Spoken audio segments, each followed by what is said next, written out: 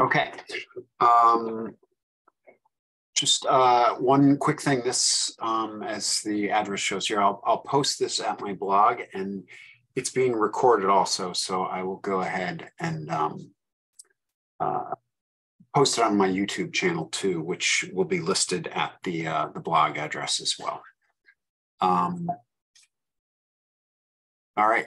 Uh, so one quick thing. Um, I, I have sort of, uh, I guess apologies is probably a strong word since it's not really anything of my doing, but um, Royal Mail from the time the etching, the test etching sheet was shipped until it arrived in my hands uh, was close to six weeks. So I didn't, and it, and it just came uh, the middle of this week. So I didn't have nearly as much time to play with some of the things as I wanted to, but there's still enough uh, enough material here for you to at least get a sense of what it is I'm working on. And just uh, thank you to George Tolman and Tony Sissons. Um, I had been communicating about some of these ideas for years, and I think George was sort of on the same wavelength as I am, and I'm excited to share some of the successes as well as failures with him. So uh, appreciate his input and, and Tony's guidance as well, who's done a lot of work uh, himself on etchings. Um, so uh, a little bit, first of all, about what etchings are. Um, there's several steps in the process. It's a pretty rigid defined process, and it's used in, in many different industries, obviously including the hobby industry. Um, there's a, a, design phase that involves actually creating um, you know, some type of artwork or drawing that to be used. Um, you have to select certain types of metals, uh, which are some of them have advantages over others depending upon the, the sizes and details you're looking to get out of the process. Um, the metals uh, are coated um, as uh, part of that. They're, they have to be cleaned. Um, and then there's uh, an exposure, which is a, basically a photographic process. And um, there are parts of the metal that are effectively blacked out and, and others are not. And that, that's what kind of creates an exposure on the metal. Um, and then it's developed um, as part of that process to, to create areas on the metal that will be removed as part of the etching process. It's, a chemi- it's a chemical process and it's different depending upon which metals. And then at the end of that, the, um, the photo resistant that was used to shield parts of the metal from being etched has to be stripped away and then you're left with the parts after that. Um, so it's it's complicated um, and, and it involves many different steps obviously to, to get to the finished product. Um, so I, I, wanted to mention a few providers because i know in in you know our piece of the world uh, we've we've had etchings around for a while. I don't know if many of you remember Detail Associates. I remember when I was a kid, you would buy their parts and they were, they had this sort of gluey stuff that attached them to like a, a vinyl backing that you had to soak in lacquer thinner to get the part off. Um, Taurus, I remember, was one of the first that I, I can recall to have parts in a freight car kit. They had wood freight car kits that also had etchings in them. Um, Free State, I remember how excited people were uh, his name was Mike, and I'm, I'm, forgetting his last name, but he came out with a sheet of Carmer cut levers, which at the time was revolutionary because anyone who had built a Westerfield kit and had the Carmer cut levers break was thrilled to have them. Um, is still around. Um, that's Bernie Kempinski. Um, Plano is obviously a name we all know. I, I mentioned Plano because I think they're they're ubiquitous, but you know, I, to, to be frank, I I find their details sometimes to be a little heavy handed. Um, and that's probably part of the process they use and the metals they use. Um, Kaiser Valley, if you're not familiar with them, they do a lot of detail parts for diesel engines. Um, they're worth checking out. And then, of course, Yarmouth uh, has, you know, Pierre has, um, in some ways, become synonymous with etchings for freight car parts. Uh, and it's certainly made um, a lot of, you know, what we are doing now um, that much easier. So hats off to him. Um, in terms of the, the providers, there, there are obviously many out there because etching is, is a process that's served for many industries. But the, the two that, um, you know, really from the hobby side of things kind of dominate what we're doing, there's a firm called Insight Designs out in California that produces incredibly high quality work, um, but they're also expensive and they tend not to work directly with the consumers um, unless that person can demonstrably you know show them that they have experience working with drawing and understand the metals and the processes so um, you know most of us don't generally work directly with them um, oops sorry um, I have worked with them. It's through an intermediary who intermediary who had to do the drawings for me, and you have to pay for that as well. Um, Insight Designs is expensive. When you also add in a third party to do the artwork to the to the specs that Insight Designs wants, it becomes very expensive. Um, I will say that when they get something right, um, and I, I, will also say they don't always get things right. I haven't been happy with everything they've done for me, but it, it can be amazing. And I, I, put that little Bankers Trust Company trust plate image at the bottom there. The actual part um, is less than a quarter inch wide in, in real dimensions. Um, and yet you can still read the, the lettering on there.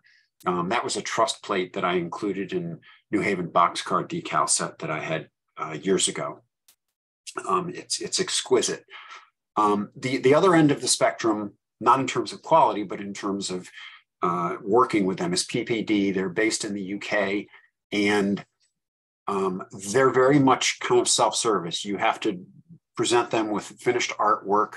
Um, they will provide guidance. They'll review the artwork, tell you if something's wrong. Um, they've been very, very helpful to me, and they're quite economical. Um, uh, when we get further in the presentation, I'll show you a sheet that they uh, did for me of test etchings.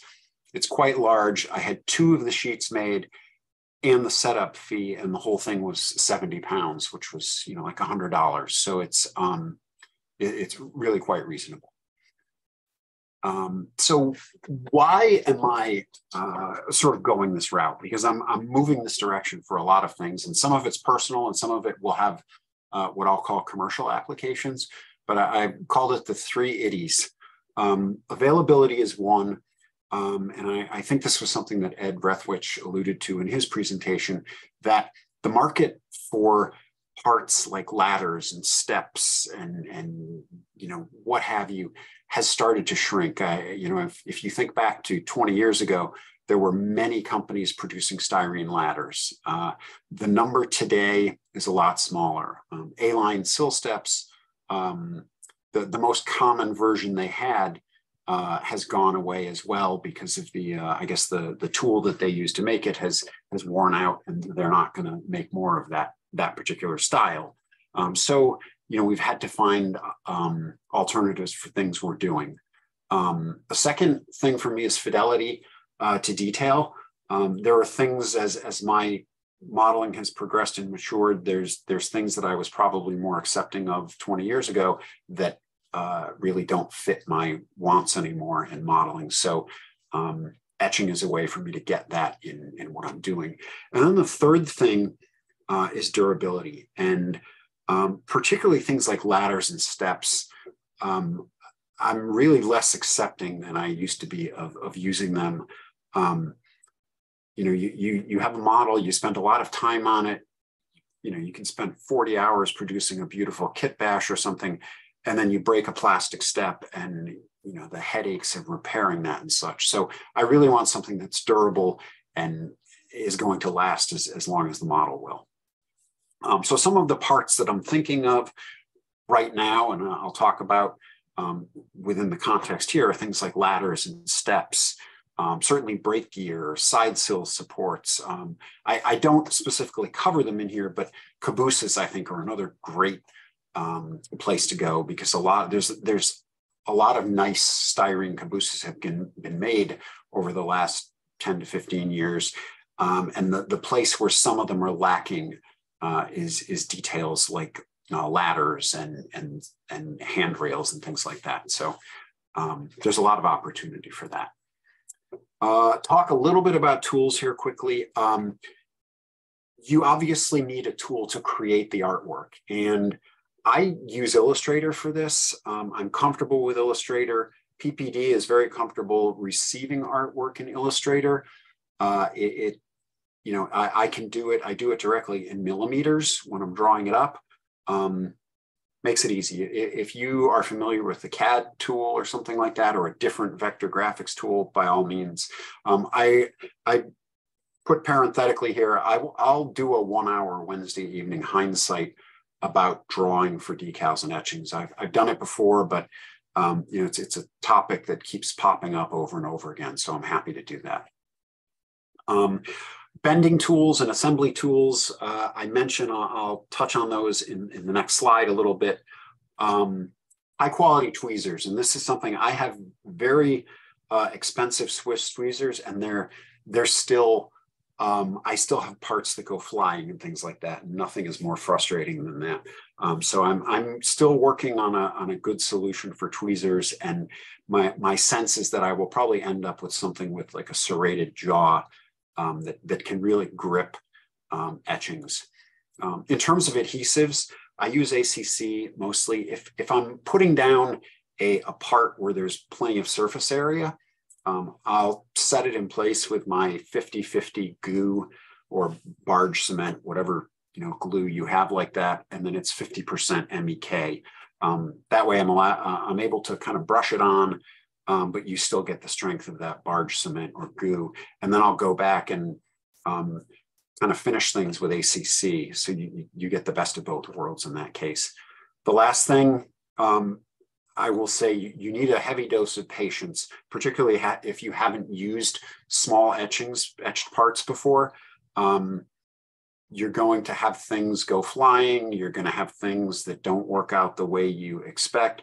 Uh, experience is great because the, the more I work with them, the faster it goes. So um, that's just another consideration. Here are a couple tools.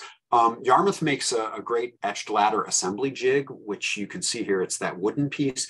The, there are um, these like slots at different widths, depending upon the the width of the rungs that that go into that those ladder stiles. Um, I've also made some of my own jigs um, that I'll talk about at another time when when I uh, you know can because I will do a follow up to this as I as I get more experience and um, have more thoughts on how things are working out. Uh, and then over here is an, uh, an etched uh, part folding tool. Um, I've recently ordered another one that's longer. This is actually a fairly small one. Um, I ordered one that's, I think the, the longest gate uh, is about eight inches long on the one I just ordered. And I had to order it from UMM USA because Small Shop uh, discontinued theirs.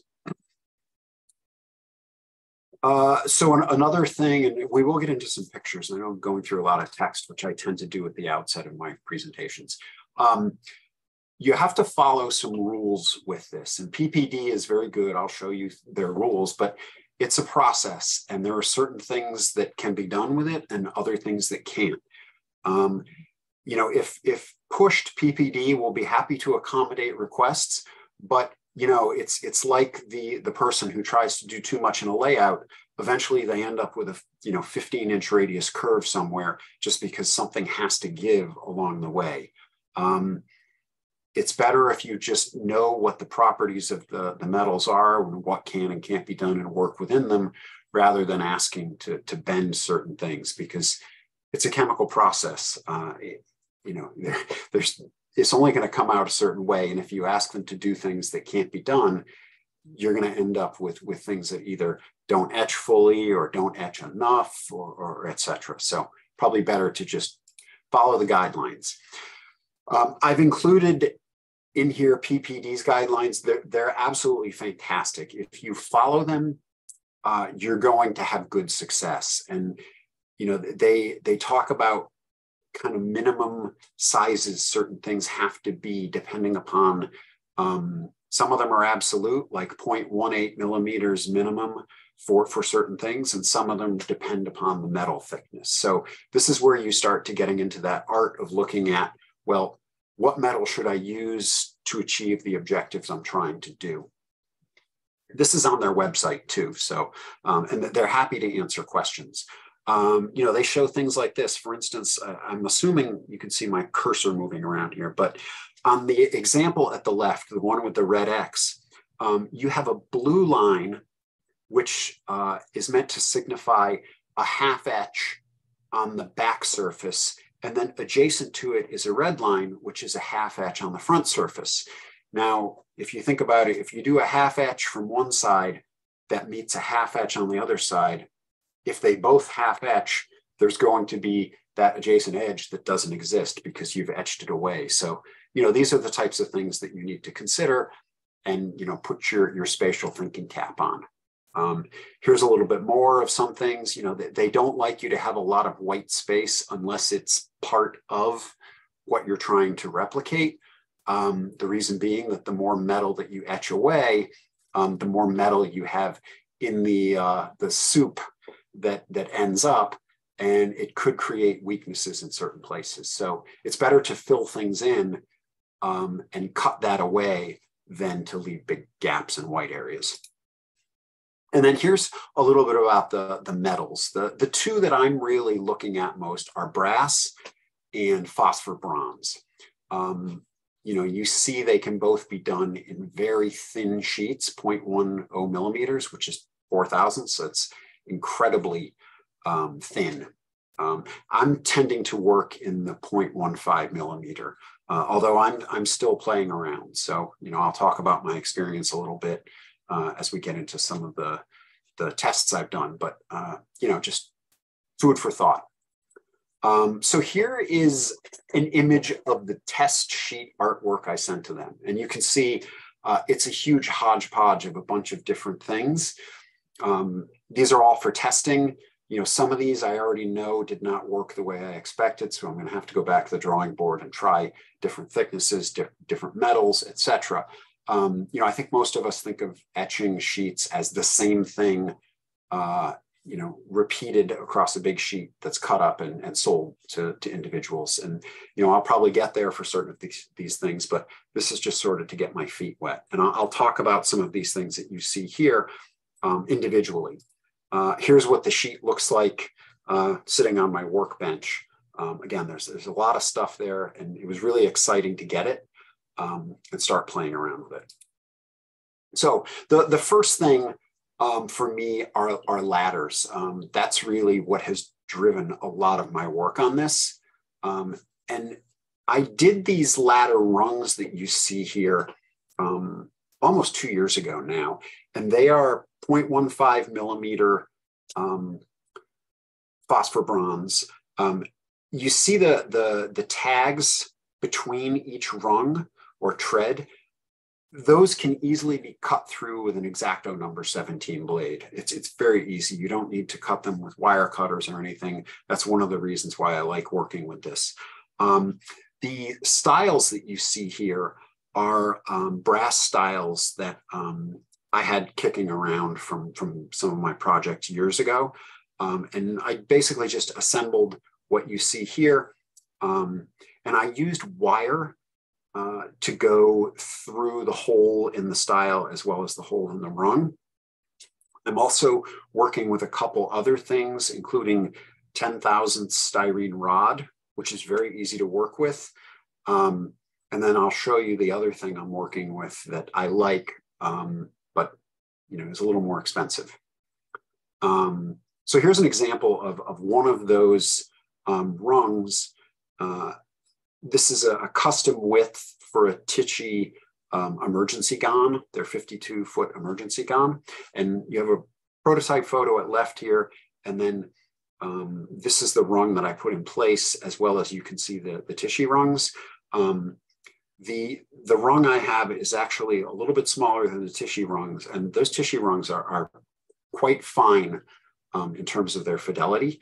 Um, and then I've attached them actually using, um, uh, if you're familiar with um, the model motor cars, uh, small parts hardware, these are uh, rivets on posts that they make that I made so that they go right through the, the rungs uh, and you just glue them in place. It's, you know, it's kind of a, a perfect solution, but they're quite expensive as well. So, um, you know, I think for a lot of applications, using wire is probably the, the best solution. Um, here's a, another part I drew up. Um, if you look at the upper right, that sprue, those are the drains that come in a red caboose PFE reefer. You can see they're, they're, they're basically blobs. They, they don't have a channel in them to drain. Um, what I did was I took this drawing from a, a car builder's site and drew this curved shape right here. And so I, I put that here. I did a mirror of it on the opposite side and then just did a rectangular section. And that's what was etched. You'll see this, there's this bottom piece where my cursor is. That's what this is. Um, it, it, was introduced uh, a little bit later on, I think in the 30s. So a, a lot of reefers don't have it, but this is what it looks like folded up. And it has a post so that you can glue it into the floor of the, um, uh, the car once you've got it completed. Uh, I also wanted to do these uh, PFE um, hatch lever supports. Uh, PFE had uh, on most of their wood reefers, as well as the R40-10s, um, they had this, you know, what as far as I've seen is a unique shape. And you noticed it has at the elbow here, it has a really gentle curve.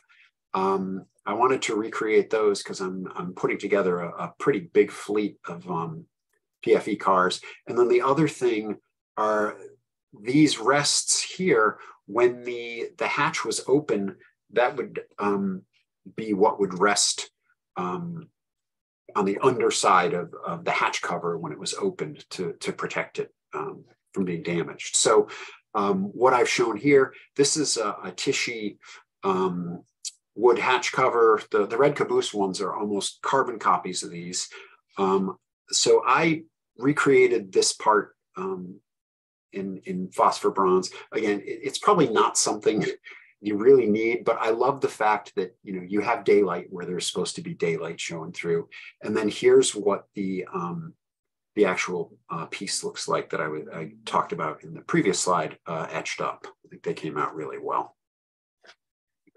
Um, brake parts are, are another thing. Um, so what I have here, um, there, there are a lot of these uh, pinhole slack adjusters and it seems like there was there was almost no commonality in them. Um, so I'll probably end up doing lots of different versions of these. This one happens to be uh, one that was on Northern Pacific 40 and 50 foot box cars built in the early 50s that had um, straight side sill supports, if you're familiar with those cars. This is a drawing that I had of the part. Um, here's the two pieces etched. And then this is um, the piece that you can see on top here is just this part on the left here folded along those, those half etched score lines. And then underneath it is this piece here. And then here is where it was on the car. You see that uh, I'll have to make a little bend because part of it was welded to the bottom of the center sill and then it had a slight um, slope and then it flattened back out here.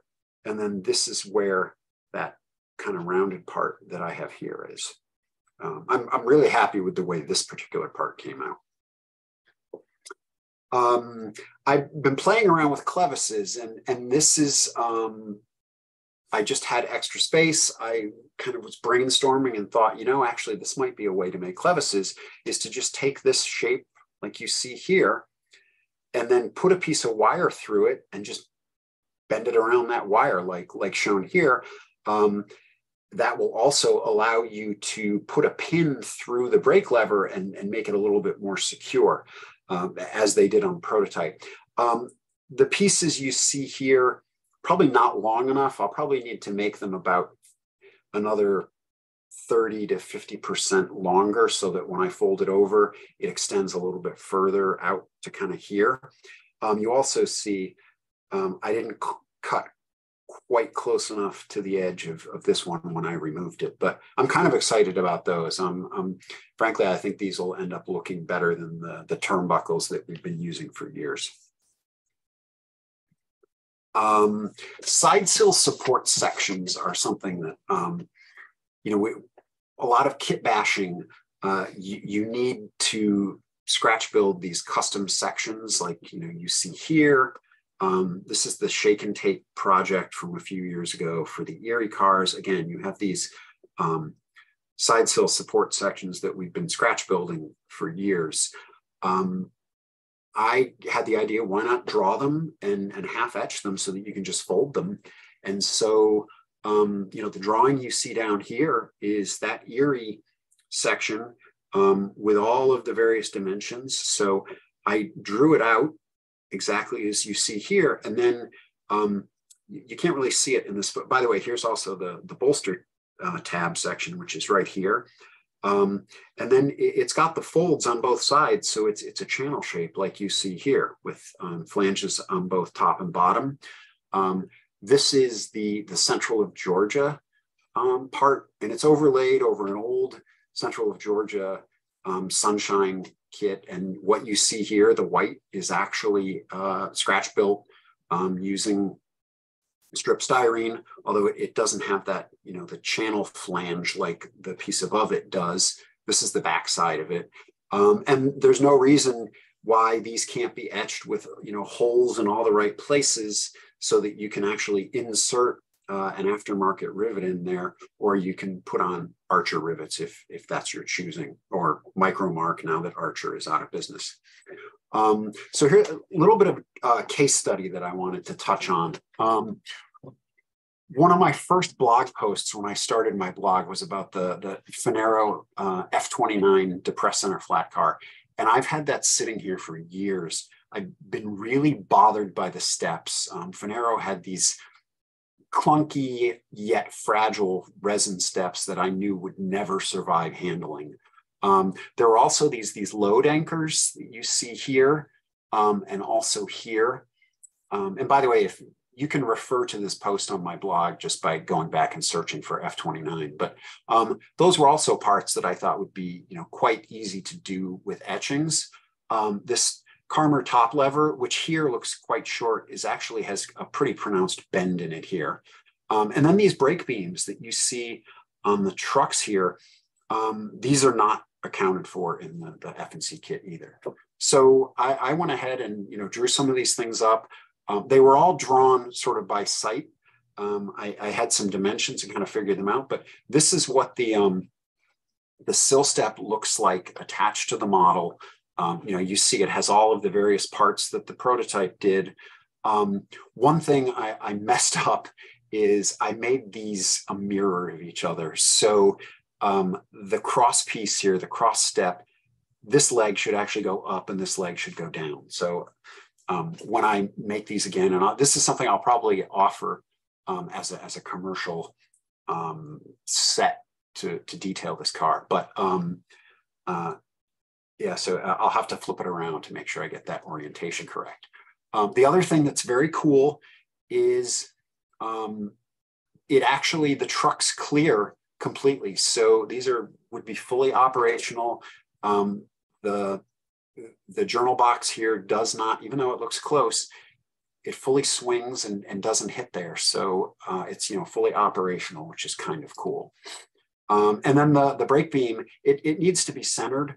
Um, as you can see, it's a little far to the right here, but it um, it fits within the slots in the trucks. Uh, you know, it's a, a, nice detail and it goes at both ends. You obviously would have a hard time seeing the one that's under the oriented towards the center of the car, but this one would be quite visible.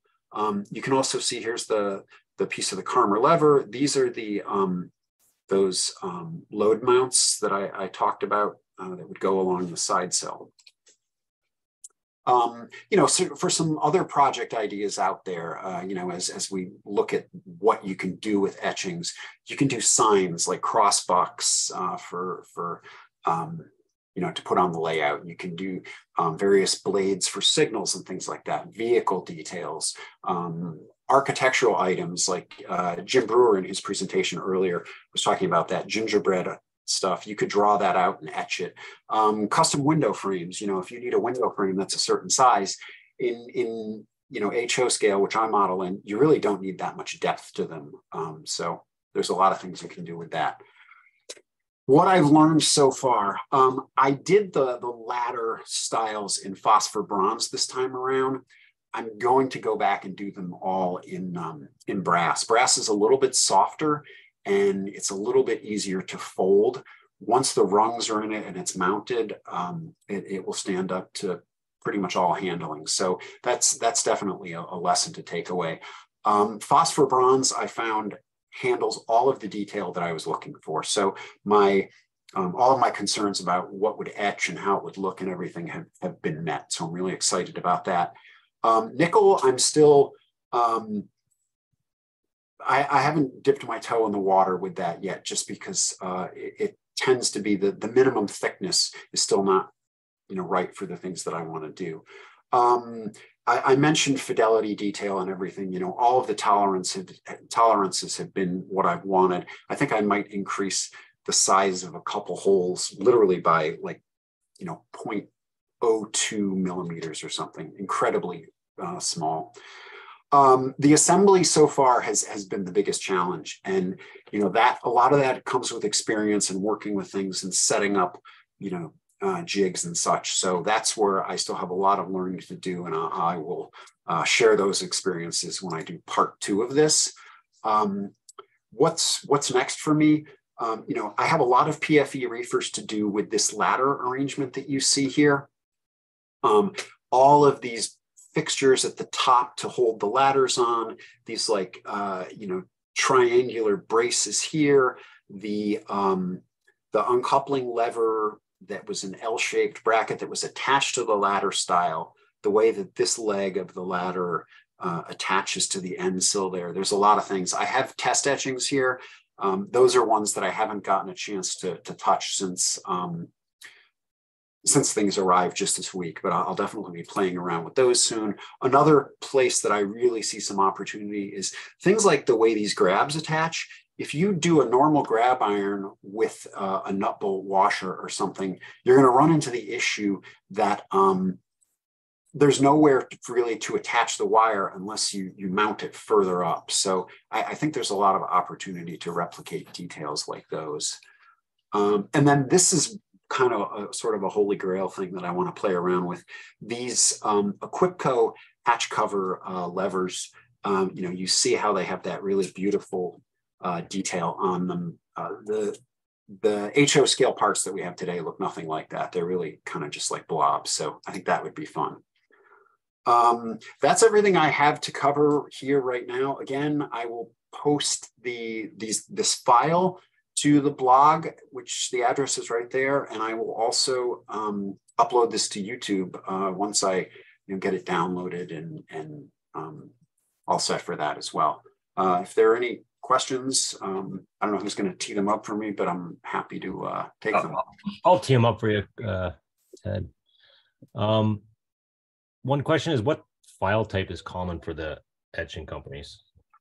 Um, I know uh, PPD recommends Illustrator uh, as as their default. I think um, I've, I've never you know discussed this directly with Insight, but my sense is that they're using something more uh, like a, a, CAD type application. But um, I, I, can't say that definitively. So before I had Illustrator, I sent uh, DXF files to PPD, and they were fine with those also. Okay. Um, the what was the next one here? Why didn't you solder them? like the ladder. Uh, I, think. I, think I, I, I may try that. I, I don't think it's necessary, and so I think it would be a, a sort of a further complication. I think for me, it's easier to take a pin with a drop of ACC and just pop it in place. Yeah, I actually tried soldering my first one last week, and I'm pretty good with the soldering iron. It's a lot slower, and I don't really see any advantage. I, I also think you know whatever you're seeing in these photos, you know, I mean, I took them with a professional level macro lens, and there's a lot of warts that you might see here that are you're never going to see on a model because it's just everything here is magnified with that lens. Uh, next one. Uh,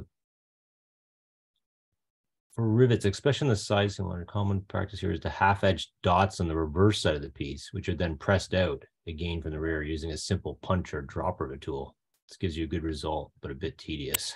I guess so. You understand, like kind of half etching and then using it that to kind of form, like form with a punch or whatever. I've not tried that. yeah, it sounds like a lot of work, that's for sure. Um, there's guys that are ready to buy already by the looks of it.